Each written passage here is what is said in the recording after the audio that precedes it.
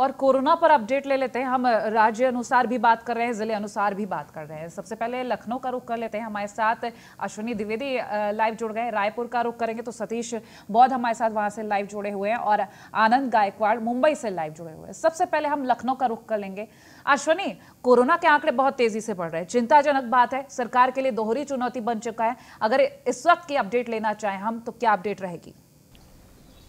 निश्चित तौर बता दूँ आपको उत्तर प्रदेश में जो कोरोना का ग्राफ है लगातार बढ़ता जा रहा है। अगर बात करें सात मार्च को तो उत्तर प्रदेश में जो कोरोना पेशेंट एक्टिव पेशेंट की संख्या थी वो सोलह थी जो इस समय बढ़कर के इकतीस हज़ार हो चुकी है। लगभग तीस हज़ार के जो आसपास पेशेंट एक महीने के भीतर जो लखनऊ उत्तर प्रदेश में आ गए हैं। अगर बात करें सबसे जो भयावह स्थिति उत्तर प्रदेश की राजधानी लखनऊ बनी हुई है जहाँ अब तक का सारा रिकॉर्ड टूट गया है जहाँ तेरह सौ से ज़्यादा तेरह सौ पैंतीस जो कुल मरीज़ अब तक एक दिन में मिले हैं जो अब तक सबसे ज़्यादा बड़ा रिकॉर्ड है। वहीं अगर बात करें आ, आ, कुल टोटल आंकड़े के एक दिन की तो छः जो आंकड़ा है वो एक दिन का मिला हुआ जो पिछले साल अगर बात करें पिछले साल पिछले साल सितंबर महीने में ग्यारह सितंबर को ये आंकड़ा छुआ था। उसके बाद फिर लगभग छः महीने बाद फिर एक बार ये कोरोना हावी हो रहा है। अगर कुल टोटल मौतों का आंकड़ा देखें तो मौतें बड़ी संख्या में हो रही हैं। वहीं रिकवरी हम्म। रेट की बात करें तो रिकवरी रेट पिछले 2020 के अपेक्षा 2021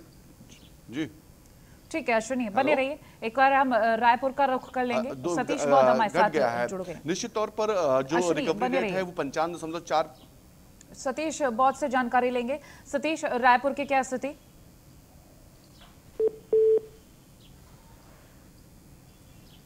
सतीश ठीक है कुछ टेक्निकल फॉल्ट्स की वजह से शायद हमारी आवाज़ वहाँ तक नहीं पहुँच पा रही है। मुंबई से भी हम अपडेट लेंगे लेकिन एक बार फिर से हम अश्वनी से अपडेट ले लें। अश्वनी जो आप अपडेट हमें दे रहे हैं अगर हम आंकड़ों को लेकर ही बात कर रहे हैं तो लोगों में जो जागरूकता की कमी नज़र आ रही थी अब तो लखनऊ में नाइट कर्फ्यू भी लग गया है और आंकड़े भी तेज़ी से बढ़ रहे हैं। किस तरीके से अब क्या समीकरण बैठेगा? निश्चित तौर पर बात करें अगर उत्तर प्रदेश में आंकड़ों की तो आंकड़े वाकई इस बार भयावह हैं। हम्म। क्योंकि पिछली बार 2020 की अपेक्षा 2021 में कहीं ना तेज़ी से रफ्तार से जो कोरोना संक्रमण बढ़ रहा है।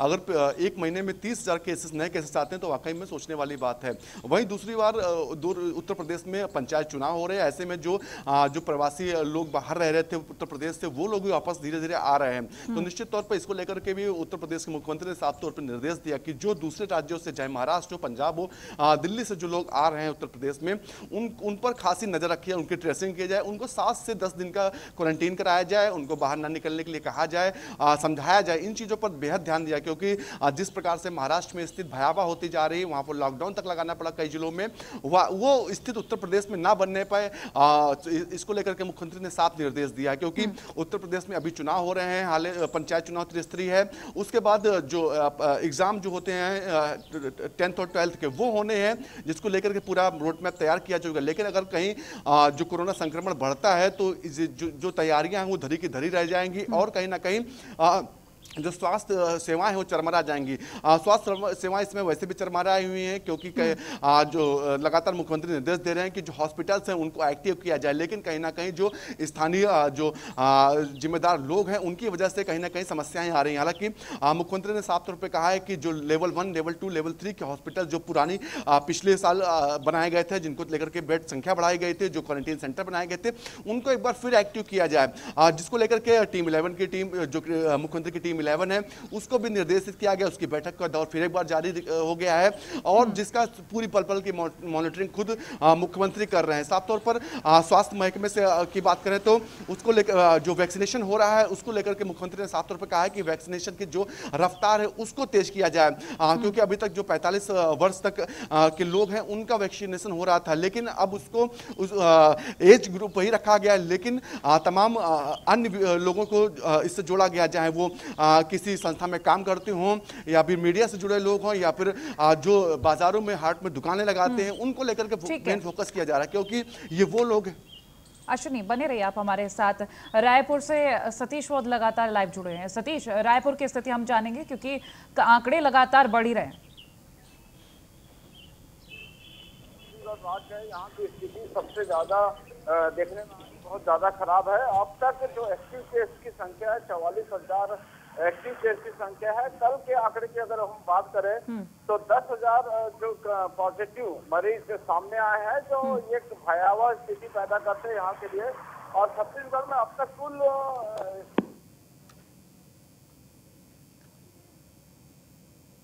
जी। सतीश जी आप बने रहिए हमारे साथ। एक बार अपडेट दे देते हैं हमारे दर्शकों को। कोरोना के आंकड़ों को लेकर, क्योंकि कोरोना के आंकड़े लगातार बन बढ़े हुए हैं और ऐसे में तस्वीरें भयावह होती जा रही है, क्योंकि कोरोना के आंकड़ों को लेकर जो स्थिति सोची गई थी पहले कि ऐसा ना हो कि नाइट कर्फ्यू या लॉकडाउन की स्थिति फिर से बन जाए। और अब वो स्थिति फिर से दोबारा बनती हुई नज़र आ रही है। आयन गायकवाड़ का रुख कर लेते हैं मुंबई से। आनंद आनंद हमारे साथ जुड़े हुए लगातार। आनंद, अगर हम बात करें मुंबई की, क्योंकि महाराष्ट्र देश का वो राज्य है जहाँ शुरुआत से ही आंकड़े बहुत ज़्यादा रहे। महाराष्ट्र वो राज्य है जहाँ स्थिति शुरुआत से ही हाथ से बाहर रही है। और अब एक बार हम बात कर लें फिर से महाराष्ट्र की तो महाराष्ट्र में ही आंकड़े सबसे ज़्यादा और महाराष्ट्र के मुंबई, पुणे तो सबसे ज़्यादा आंकड़ों वाले शहर रहते हैं। तो मुंबई में अगर आंकड़ों को लेकर बात कर लें और उसके बाद पूरे राज्य की तो क्या स्थिति रहेगी? जो मुंबई में लोकल एडमिनिस्ट्रेशन ने ऑलरेडी रिस्ट्रिक्शन लगा दिए हैं लेकिन साढ़े दस हज़ार के ऊपर ही पेशेंट पिछले चार पाँच दिन छह दिनों से मिल रहे हैं। मुंबई में आप मेरे पीछे देख सकते हैं कि लॉकडाउन मिनी लॉकडाउन लगाने के बाद भी रिस्ट्रिक्शन लगाने के बाद भी लोग घरों से बड़ी संख्या में निकल रहे हैं। कोरोना के नियमों का कई जगह पे पालन नहीं हो रहा है। गवर्नमेंट ने रिस्ट्रिक्शन डाल दिए है लेकिन लोग अपने इसमें डिसिप्लिन नहीं बरतते हुए दिखाई दे रही है। तो मुझे लगता है कि मुंबई की स्थिति आने वाले दिनों में और भी गंभीर होगी। अगर हम राज्य सरकार के अनुसार बात करें क्योंकि अब जो हफ़्ते के दो दिन है लॉकडाउन की घोषणा कर दी गई लोगों को लेकर जो चिंता है वो तो ज़ाहिर सी बात होगी लेकिन लोगों में क्या इस बात की चिंता है कि सरकार उनको लेकर कितना सोच रही है जिस वजह से आंकड़े बढ़ रहे हैं उस वजह से अब लॉकडाउन भी लगाना पड़ा दो दिन में हफ़्ते? नहीं जिस तरह से आंकड़े बढ़ रहे हैं गवर्नमेंट कोशिश कर रही है कि कम से कम रिस्ट्रिक्शन लगाया जाए लोगों पे इसलिए मिनी लॉकडाउन लगाया। मिनी लॉकडाउन लगाने के बाद भी कल जो चौबीस घंटे में मरीजों के आंकड़े सामने आए करीबन साठ हज़ार के करीब है। तो ये अब तक का सबसे बड़ा रिकॉर्ड है महाराष्ट्र में पूरे देश में कि साठ हज़ार के करीब एक स्टेट में कोरोना के संक्रमित पेशेंट मिल रहे तो अभी कुछ व्यापारी और छोटे छोटे व्यापारी इन्होंने गवर्नमेंट से रिक्वेस्ट की थी कि हमको सहूलियत दी जाए। गवर्नमेंट का कहना ऐसा है कि अगर आपको सहूलियत दी जाए तो भीड़ होने की आशंका है और कोरोना का संक्रमण और तेज़ी से बढ़ने की अ, आशंका है। तो इस कश्मकश में सरकार तय नहीं कर पा रही है कि पूरी तरह से लॉकडाउन लगाया जाए ठीक वो तो हमने सरकार की बात को तो लेकर हम समझ गए कि ये सरकार तो चिंतित है ही लेकिन लोगों को क्या चिंता हो रही है? क्योंकि कोरोना के आंकड़े जब बढ़ रहे हैं तो इसमें सबसे बड़ा हाथ अगर देखा जाए तो लोगों का है। वैक्सीनेशन शुरू हुआ नहीं लोगों ने मास्क पहनना छोड़ दिया।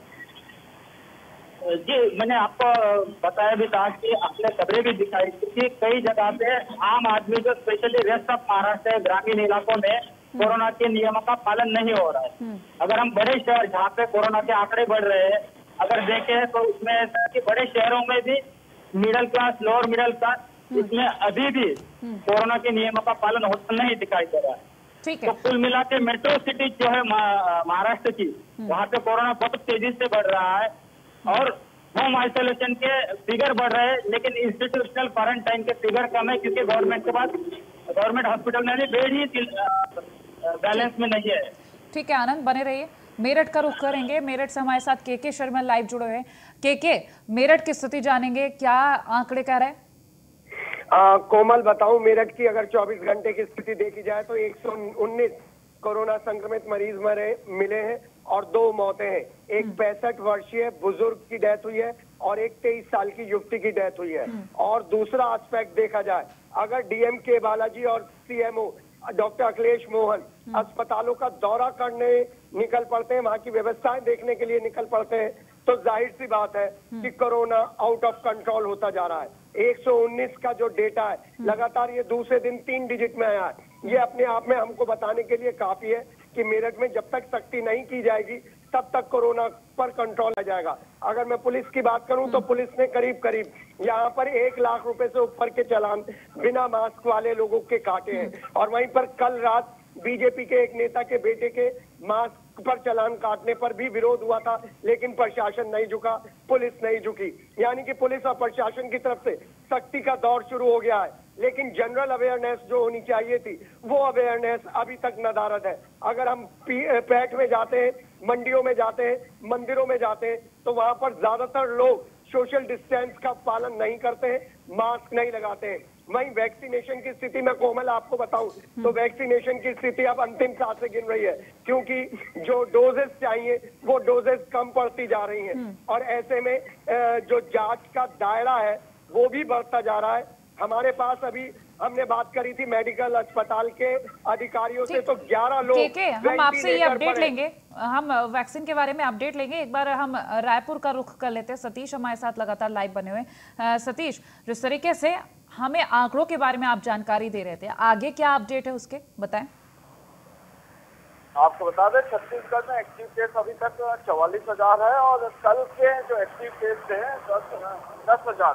जो एक भयावह स्थिति पैदा करते हैं क्योंकि छत्तीसगढ़ राज्य एक छोटा राज्य है जहाँ इस प्रकार के जो पॉजिटिव केसों की संख्या बढ़ रही है यह चिंताजनक है। और आपको बता दूँ कल की जो अ, जो कोरोना संक्रमणों की जो मरीजों की मौत हुई थी वो तिरपन थी। ये जो स्थिति जिस प्रकार जो पॉजिटिव केस के जो मरीजों की मौत हो रही है यह चिंताजनक है। और जिसको देखते हुए राज्य सरकार ने कल रायपुर में दस दिनों के लिए लॉकडाउन लगाने की घोषणा के पहले जो दुर्ग जिला है, जहाँ पर मुख्यमंत्री सहित पाँच कैबिनेट मंत्री का निवास है, वहाँ ऑलरेडी लॉकडाउन लगा हुआ है। ये जो स्थिति है, ये भयावह स्थिति है और इसके लिए जिला प्रशासन और राज्य सरकार लगातार प्रयास कर रही है कि इसको कंट्रोल करें और वैक्सीनेशन की अगर बात करें हम तो वैक्सीनेशन लगातार जारी है। जो पैंतालीस वर्ष से ऊपर के, आयु वर्ग के लोग हैं उनको लगातार वैक्सीनेशन दिया जा रहा है और वैक्सीनेशन की कोई कमी नहीं है छत्तीसगढ़ में। जी। ठीक, सतीश जी, बने रहिए। लखनऊ से हमारे साथ अश्विनी लगातार लाइव जुड़े हैं।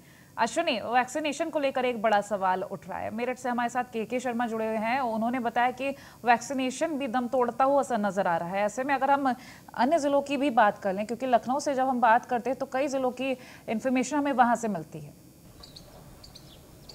निश्चित तौर पर वैक्सीनेशन की बात करें तो उत्तर प्रदेश में वैक्सीनेशन का दौर जारी है। हालाँकि अभी तक जो 60 साल का पहले टारगेट रखा था कि 60 साल का जो एज है, उस, उन लोगों को वैक्सीनेशन किया जाए, साथ ही साथ 45 साल के जो बीमार लोग हैं, उनका वैक्सीनेशन किया जाए। अब उसके बाद घटाकर उम्र 45 साल कर दी गई।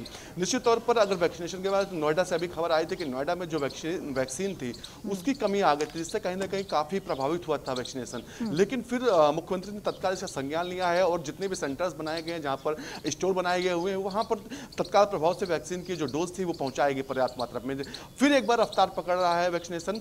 मुख्यमंत्री ने कल बैठक में साफ़ तौर पर कहा कि एक तरफ़ तो कड़ाई करनी, दूसरी दूसरी तरफ़ जो वैक्सीनेशन है, उस पर, उसको, उस पर ध्यान देना उसमें तेज़ी लानी है। क्योंकि देखा जा रहा है कि वैक्सीनेशन की रफ्तार क्या इतना बड़ा प्रदेश है जिस, जहाँ पर इतनी बड़ी संख्या में लोग रहते हैं, वहाँ पर अंतिम आदमी तक वैक्सीन पहुँचने में काफ़ी लंबा समय लगेगा। जिसको लेकर के मुख्यमंत्री ने साफ़ तौर पर कहा कि जितनी जल्दी हो सके प्रदेश के हर एक व्यक्ति तक वैक्सीन पहुँच जाए और उनको वैक्सीन लग जाए। निश्चित तौर पर आज से एक बार फिर युद्ध स्तर पर वैक्सीनेशन का काम शुरू हो रहा है, जिसमें डे वाइज डे डिवाइड किए गए कि आज के दिन किनको वैक्सीनेशन लगेगा, डिवाइड किया गया कि आज जो, आज का दिन, आज का कल का दिन है, वो मीडिया पर्सन के लिए रखा गया है। साथ ही साथ जो इंपॉर्टेंट क्षेत्र में काम कर रहे हैं, जो फ्रंट लाइट फ्रंट लाइन में काम कर चुके कोरोना काल में, उनको आगे रखा है। उसके बाद जो बाजारों में लोग दुकानें, शॉप चलाते हैं या फिर शोरूम चलाते हैं या मॉल चलाते हैं, उन लोगों को रखा क्योंकि ये वो लोग हैं जहाँ पर लोग भीड़ इकट्ठा होती है और ये संपर्क में आने से खुद तो संक्रमित होते हैं, साथ ही साथ दूसरों को भी संक्रमण देते हैं। तो पहले इन पर मुख्यमंत्री ने फोकस किया कि इनको पहले वैक्सीनेशन किया जाए, उसके बाद स्टेप स्टेप जल्द से जल्द अंतिम आदमी तक वैक्सीनेशन पहुंचाई जाए। जी। ठीक है, अश्विनी, बने रहिए आप हमारे साथ। कोरोना को लेकर लगातार हम बात कर रहे हैं। कोरोना के आंकड़े तेज़ी से बढ़ रहे हैं, ऐसे में चिंताजनक विषय तो है ही। और सरकार अपनी तरफ़ से जो कोशिश कर रही है, क्योंकि सरकार की कोशिशें यहाँ पर अब ज़्यादा दिख रही हैं। सरकार की तरफ़ से यही कोशिश है कि आंकड़ों पर नियंत्रण पाया जाए और साथ ही साथ सख्ती भी की जा रही है। अब राज्य के यूपी की अगर हम बात कर ले तो तीन ऐसे ज़िले जहाँ पर नाइट कर्फ्यू भी लगा दिया गया है। हम एक बार फिर से मेरठ का रुख करेंगे। के, आप वैक्सीन को लेकर जो जानकारी दे रहे थे वो पूरी करें। जी हाँ मैं कोमल आपको बता दूँ कि वैक्सीनेशन की कुछ प्राइमरी हेल्थ सेंटर्स पर कमी पड़ रही है। ये हमें ऑफ़ द रिकॉर्ड हमें डॉक्टर्स ने बताया है। हमने जब कोरोना के लगातार मरीज़ बढ़ रहे थे तो हमने पूछा कि वैक्सीनेशन का रेट क्या है। तो उन्होंने बताया कि वैक्सीनेशन जब से 45 से ज़्यादा के लोगों का वैक्सीनेशन शुरू हुआ है तब से लोगों में काफ़ी उत्साह है और इसलिए ही वैक्सीनेशन की अब कमी पड़ती जा रही है। और जब हमने मेडिकल में जाकर पता मैं कोमल ये बात इसलिए बता रहा हूँ क्योंकि आगे आने वाले दिनों में कुछ मौत के आंकड़े बढ़ सकते हैं। ग्यारह लोग ऑक्सीजन पर है और सीरियस केसेस में एल वन एल टू अस्पतालों का दौरा किया जा रहा है और नाइट कर्फ्यू की प्लानिंग की जा रही है। लगातार दूसरे दिन सैकड़ा लगा है कोरोना के वायरस संक्रमित मरीजों का। वहीं पर डीएमके बालाजी और सीएमओ अखिलेश मोहन ने जितने भी प्राइवेट अस्पताल है उनके डॉक्टर से बात करिए वहाँ वहाँ की व्यवस्था देखिए है। तो कहने की ज़रूरत नहीं है कि आने वाले दिनों में अगर मेरठ में भी नाइट कर्फ्यू का प्रावधान लग जाए तो कोई बड़ी बात नहीं होगी। क्योंकि न्यूज़ वन इंडिया एक सहयोगी संस्था है सरकार की और प्रशासन की। इसलिए जो भी जनता का फीडबैक मिलता है उसी फीडबैक को लेकर हम आगे बढ़ते हैं। मास्किंग को लेकर यहाँ पर एक वृद्ध अभियान चलाया जा रहा है आईजी परवीन कुमार के नेतृत्व में एसएसपी अजय साहनी के नेतृत्व में और उसके रिज़ल्ट भी देखने को मिल रहे हैं। लेकिन पब्लिक के बीच में जो अवेयरनेस होनी चाहिए थी मास्किंग को लेकर सोशल डिस्टेंस को लेकर वो अभी नज़र नहीं आ रही है और उसके लिए प्रशासन और पुलिस को काफ़ी सख्ती के साथ पेश आना होगा। वहीं जो कमिश्नर सुरेंद्र सिंह है, उन्होंने भी जितने आला अधिकारी हैं, मंडल के उनके साथ बैठकर कोरोना के बढ़ते हुए आंकड़ों को लेकर चिंता व्यक्त की है और जल्द से जल्द एक प्रभावी योजना बनाने के लिए कहा है। वहीं वैक्सीनेशन की जहाँ जहाँ पर कमी हो रही है, जहाँ टीके जल्दी जल्दी ज़्यादा ज़्यादा लग रहे हैं, वहाँ की चेन कोल्ड जो स्टोर है, वहाँ से उसकी आपूर्ति के लिए उन्होंने प्रयास भी तेज कर दिए हैं। तो देखा जाए कि मेरठ प्रशासन में जहाँ एक तरफ़ कोरोना के बढ़ते हुए मरीजों को रोकने की सबसे बड़ी चुनौती है वहीं वैक्सीनेशन का रेट जो है उसको भी बरकरार रखने की चुनौती है। और ऐसे में अगर जनता थोड़ा सा सहयोग दे दे मास्किंग और सोशल डिस्टेंस की बात कर ले तो काफ़ी फ़ायदा होगा। स्कूलों में हमारी स्कूल के प्रबंधकों से बात हुई है। स्कूल के प्रबंधक भी छठी से लेकर बारहवीं तक के स्कूल खोलने के पक्ष में आ रहे हैं जिसको डीएन के बालाजी ने ठंडे बस्ते में डाल दिया है। लेकिन यही स्कूल प्रबंधक और दूसरी अथॉरिटीज जो है वो कोरोना के इस बढ़ते हुए आंकड़े को नहीं देख रही है। हमने यहाँ पर रोडवेज़ और रेलवे स्टेशन पर जाकर देखा वहाँ पर प्रशासन की तरफ़ से समुचित प्रावधान किए गए हैं जिससे जो लोग यात्रा कर रहे हैं उनके पास कोरोना का सर्टिफिकेट हो कि कोरोना नेगेटिव है तभी वो यात्रा करें। तो पुलिस और प्रशासन को तो फुल नंबर है। जनता पिछड़ी हुई है कोमल। ठीक है के के बने रहिए आप हमारे साथ। महाराष्ट्र एक बार फिर से अपडेट ले लेंगे। आनंद जिस तरीके से हम आंकड़ों को लेकर अगर बात करें तो मुंबई की स्थिति आपने बताई अन्य जिलों की भी स्थिति बताई। अब अगर हम वैक्सीनेशन को लेकर अगर सवाल उठाते तो किस तरीके की तस्वीरें हैं? जी अभी वैक्सीनेशन पर डे चार साढ़े चार लाख हो रहा है लेकिन अभी गवर्नमेंट का स्वास्थ्य विभाग जो स्टैटिस्टिक दे रहा है उस हिसाब से आने वाले चार पाँच दिनों तक ही हम वैक्सीनेशन कर पाएँगे। इतना स्टॉक है। मुंबई की मेयर ने भी कहा है कि अभी बहुत कम स्टॉक है। कल महाराष्ट्र के स्वास्थ्य मंत्री राजेश टोपे ने प्रेस कॉन्फ्रेंस में कहा कि हमें तो अस्पतालों के बाहर लग बोर्ड लगाने पड़ रहे हैं सीनियर सिटीजन को रिक्वेस्ट करना पड़ रही है कि अभी कोविड की खुराक खत्म हो गई है। तो कुल मिला। के राज्य सरकार और केंद्र सरकार के स्वास्थ्य विभाग में नोकझोंक देखने को मिल रही है ये कोविड वैक्सीनेशन को लेकर ठीक आनंद बने रहिए। हमारे साथ देहरादून से फ़हीम तना रेजिडेंट एडिटर जुड़े हुए हैं लाइव जुड़ गए हैं। फ़हीम अगर हम उत्तराखंड की ऑल ओवर स्थिति जाने तो आंकड़े क्या कह रहे हैं और देहरादून में खास तौर पर कहें क्योंकि कुंभ है और साथ ही साथ भारी संख्या में श्रद्धालु साधु संत भी पहुँच रहे हैं। आंकड़े क्या कह रहे हैं और कैसी तैयारियाँ हैं? क्या कुछ है? देखिए आंकड़े आंकड़े थोड़ा चिंता में डाल रहे हैं उत्तराखंड में जो कोरोना पॉजिटिव केसेस प्रतिदिन आ रहे हैं। ग्यारह सौ नौ केसेज पिछले चौबीस घंटे के हैं, एक दिन में अगर देखें तो बड़ा आंकड़ा है। क्योंकि अगर हम मार्च के पहले हफ़्ते में देखें तो चालीस, पैंतालीस सौ उनचास तक की संख्या थी और अभी बढ़कर ग्यारह सौ से ऊपर जा रही है और जो एक्टिव केसेस हैं, उनकी भी संख्या बढ़कर के चार हज़ार के करीब हो गई है। अगर उसके व्यवस्थाओं के हिसाब से हम देखते हैं तो जो एक्टिव केसेस हैं और जो व्यवस्था है, तकरीबन तीस हज़ार आइसोलेशन बेड की क्षमताओं की व्यवस्था तक है उत्तराखंड में अड़तीस कोविड डेडिकेटेड हॉस्पिटल्स हैं और 415 आइसोलेशन सेंटर है जो कोविड के सेंटर कुंभ को लेकर भी परेशानियाँ दिख रही हैं क्योंकि कुंभ पर कोरोना का बड़ा खतरा नज़र आ रहा है क्योंकि ऐसे में हम कुंभ में जो मौजूद अधिकारी हैं वो भी उनको भी काफ़ी ज़्यादा वहाँ संख्या कोरोना पॉजिटिव मिल रही है। फ़हीम, बहरहाल शुक्रिया बहुत इन तमाम जानकारियों के लिए। आनंद, आपका भी शुक्रिया, के के आपका शुक्रिया। और अश्विनी आपका भी शुक्रिया। तमाम अपडेट हम तक पहुँचाने के लिए। तो कोरोना के आंकड़े बहुत तेज़ी पकड़ चुके हैं। ऐसे में देश भर की बात करें तो एक लाख छब्बीस हज़ार से ज़्यादा आंकड़े आए हैं सामने पिछले चौबीस घंटे में। मौत के आंकड़े काफ़ी तेज़ी से बढ़े। राज्यवार बात करें तो महाराष्ट्र, यूपी, छत्तीसगढ़, ये तमाम वो राज्य जहाँ पर बहुत तेज़ी से आंकड़े बढ़ रहे हैं। हालाँकि कोशिश यही की जा रही सरकार की तरफ़ से कि जल्द से जल्द नियंत्रण पाया जाए, लेकिन इसमें ज़रूरी है कि जनता भी उतना सहयोग करे जितना सरकार कोशिश करे। तो फ़िलहाल इसके साथ इतना ही, देखते रहे न्यूज़ ऑन इंडिया